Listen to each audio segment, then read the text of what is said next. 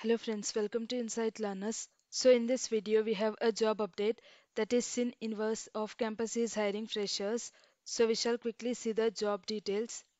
So the company name it is Syniverse and the job role or the job title it is software analyst 2 and the experience needed for the job role it is for freshers and the salary or the CTC it is 9 lakhs per annum and the work location or the job location it is either Bangalore or Hyderabad.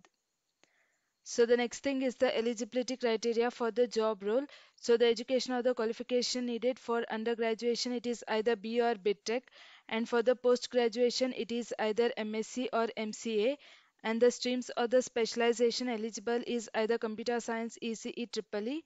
So any circuit branches are eligible to apply who has knowledge of programming and the year of pass out is either 2020 or 2021 and there should be no standing backlogs or arrears to apply for this particular job role.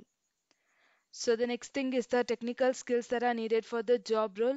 You need to have strong knowledge of Java programming as well as sound knowledge of either object oriented programming as well as data structures and also good understanding of Unix, shell scripting as well as the database that is RDBMS concepts or it can be PL or SQL and you need to be familiarity with any of the web framework like it can be RESTful APIs or no SQL DB and also bit understanding of Hadoop and its ecosystem and also bit knowledge of networking is preferred.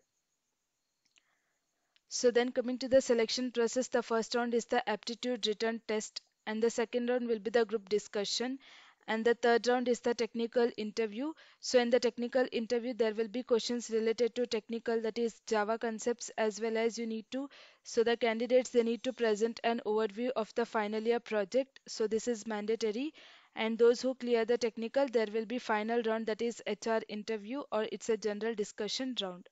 So these are the four rounds included in the selection process. So then coming to the application link, it is through firstnaukri.com. You can upload your updated resume and fill all the details. Then you can submit the application form. So the link will be provided in the description. You can quickly go and apply for the job role. Thank you friends for watching and do subscribe our channel for more updates.